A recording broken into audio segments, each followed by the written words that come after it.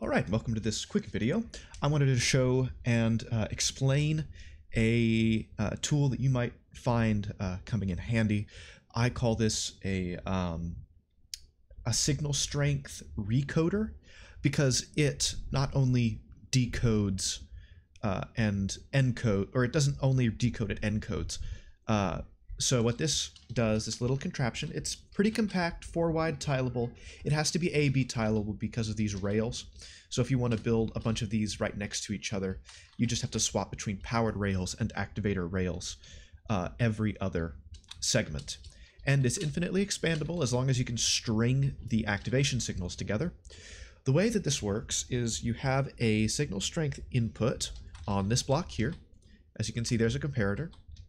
And once you have your signal, let's leave it at 1 for now. You send an input pulse, and it will pulse an output.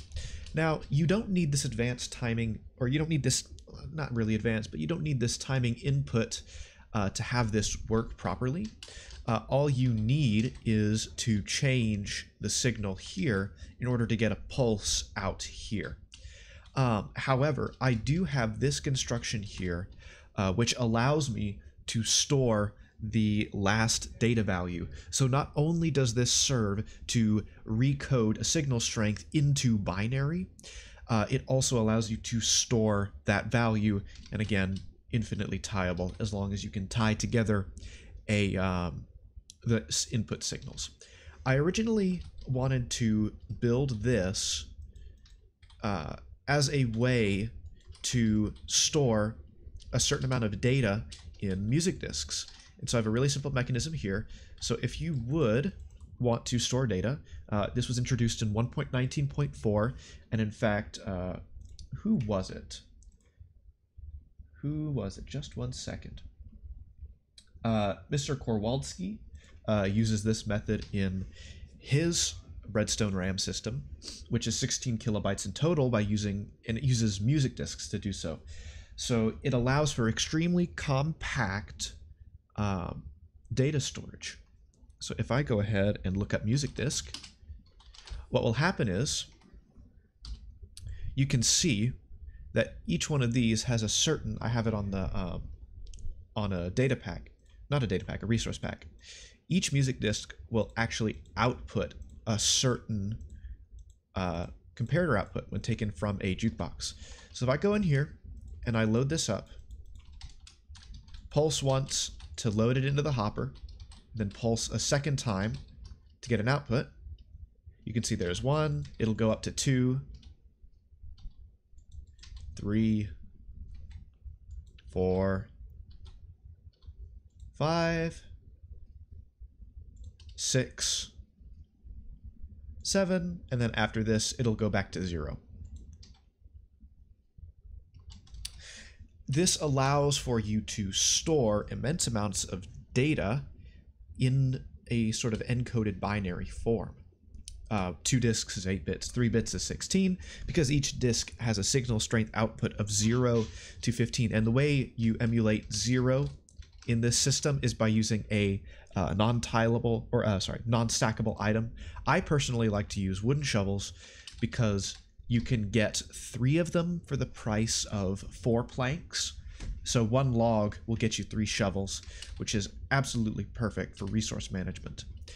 I designed this also because I'm de I'm designing a uh, computer system for for a friend's server. So for practical computational redstone. So uh, let me show you how everything works. Uh, in order to get everything tileable. Well, let's see. So you can see it's actually fairly simple how it all works.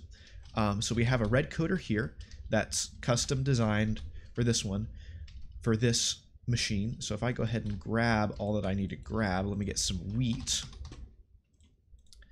some torches, and some redstone dust. So this section here is 1, 2, 3, 4, 5, 6, 7, 8, 9, 10, 11, 12, 13, 14, 15, 16 blocks long. Uh, perfect. And so this is the top row, and underneath, you're going to put down a comparator that is not in subtraction mode. And usually red coders will have a little ramp in order to have the uh, the signal strength change from, or to essentially subtract one for the red coder. Uh, but I ultimately decided on this because it was the only way I could figure out how to implement it. Uh, one other thing, for this bottom row, I built this wrong. You need to use slabs. Because uh, this thing over here, you don't want the red coder to interfere uh, with the uh, encoding of binary. So you need to make sure this is a row of slabs, full line of redstone, basically just building a red coder. And this needs to have its row of redstone as well. Get that built. Uh, the great thing about target blocks is they divert power, allows this to be so compact. Of course, this isn't a new discovery, but it's it's still amazing to see. Once you've got that, slap down your row of repeaters. Like I said before, it's basically building a regular red coder. Get this slapped down. And then your last row of redstone torches. There we are. Red coder is constructed, except for one part. You're going to put redstone not facing anywhere like that. Put this here, this here. A redstone comparator on subtraction mode. And this is your input right there. You can see you need to power it. And this is your pulse. So whenever I press a button here, it will allow the signal to come through.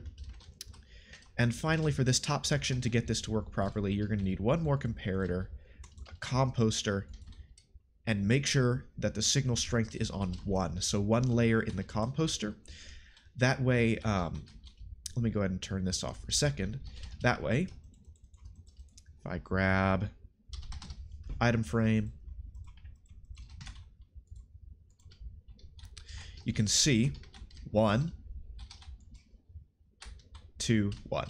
And so it works like any regular red coder. Go all the way up to 8 and back to 1. Just like that. Actually, you know what? I'll leave that in there. Go ahead and place this back. That's all we need of the composter. Uh, the next part you're going to need is the encoder, and that's just constructed with a, with a bunch of rails and a bunch of observers to send a pulse down to the next level. So if I go ahead and place my observers, you're going to need two observers coming down like this, all the way down, total of 32. Uh, it's a little pricey However, it's very compact and it's tileable. So if you are going to be constructing computational redstone devices inside of survival Minecraft, I'm sure that you'll have enough resources to build this. Let's go ahead and get this built up.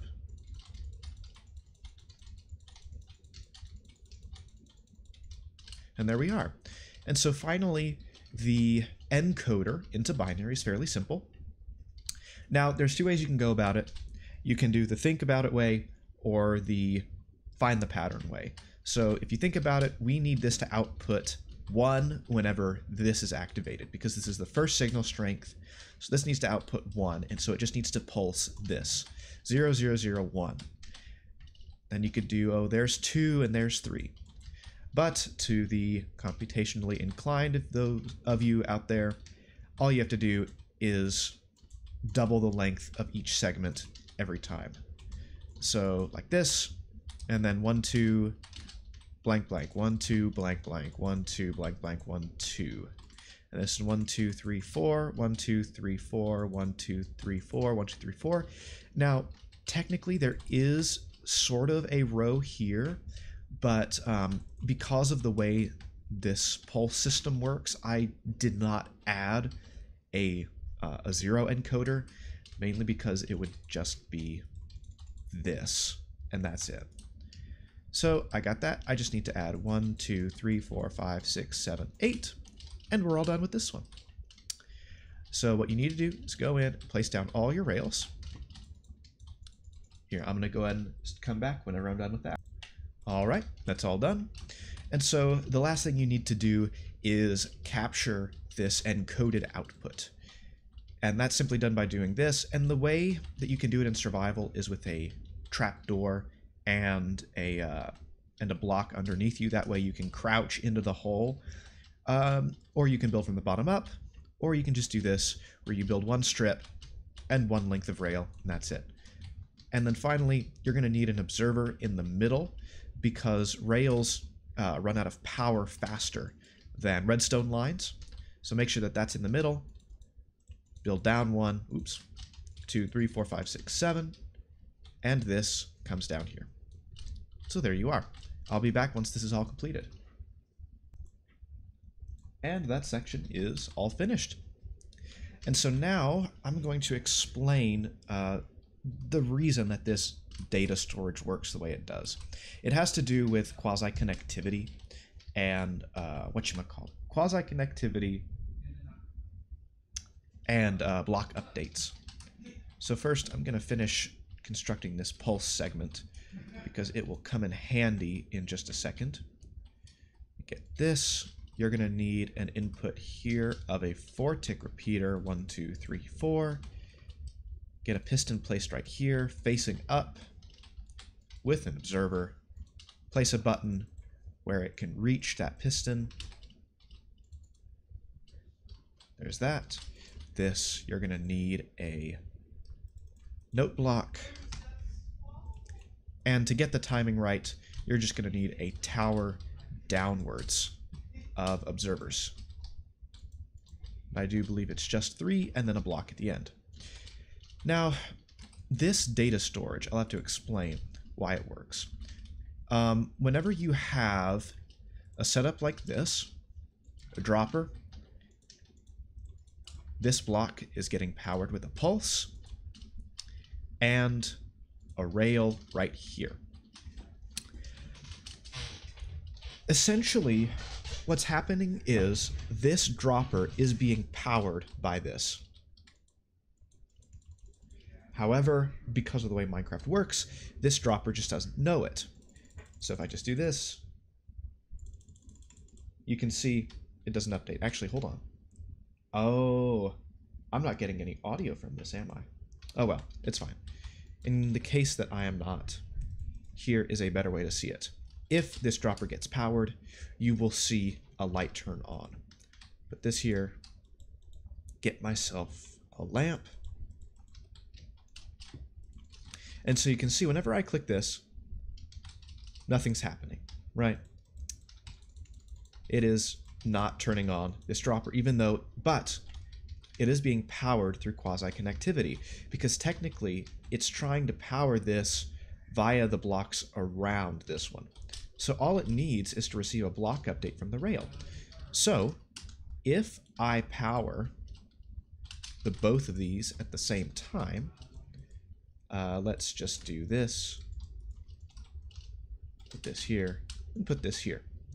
You can see if I power them at the same time, it fires off. And so the best part is you can actually use that with an RS NOR latch. You can construct an RS NOR latch using this update, which actually technically can turn it into a D latch. Well, actually, not technically. This is a D latch. And so what happens is, all you do is you have your update signal, which is this one, and your write signal.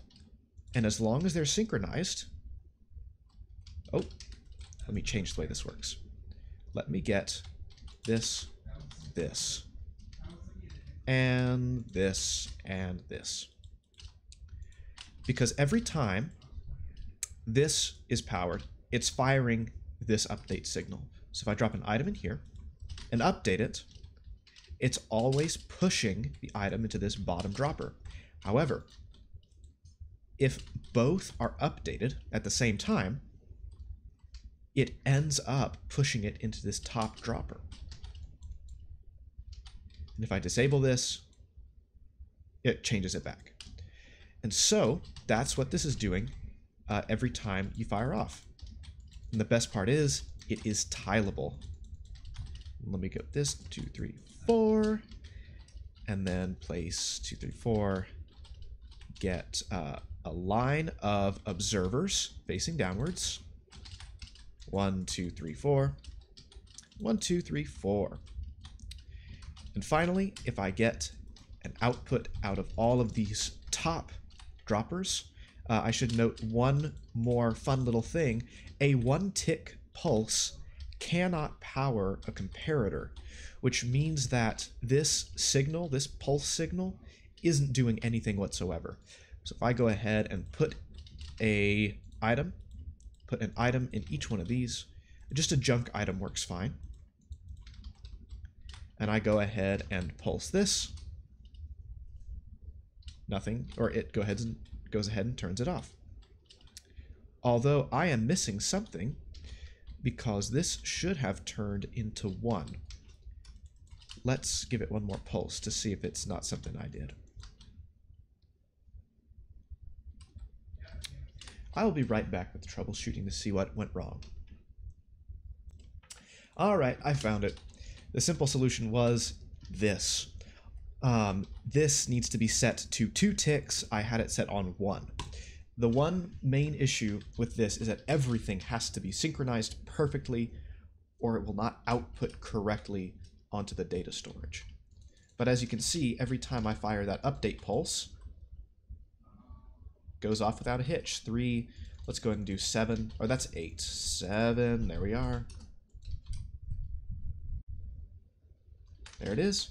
Bring it up to eight. And back to one. Now, if you want to do something specific, uh, actually, you know? Never mind. Uh, it was I was gonna say something about item frames, but it's not really necessary. Uh, just a little idea. But that's pretty much it. That's the basic tutorial on how to build it. Um, I'm sure that one of you out there will find a way to optimize this even more. Uh, but so far, this is a very uh, simple, relatively cheap signal strength recoding circuit. So yeah, I hope you enjoyed it, and I hope that this comes in handy for all y'all. See y'all later.